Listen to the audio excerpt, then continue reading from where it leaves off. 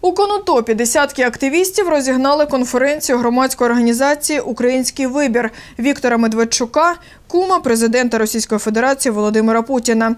Із криками Залиште моє місто мер Конотопа Артем Семеніхін виганяв учасників конференції з зали.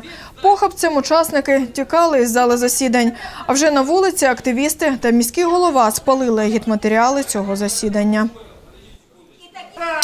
Моєму місті сепаратистського шабашу не буде. Або ви зараз мирно уходите, або ми вас звідси викидаємо. Я мер цього міста. Я вам не дозволяв проводити тут місто!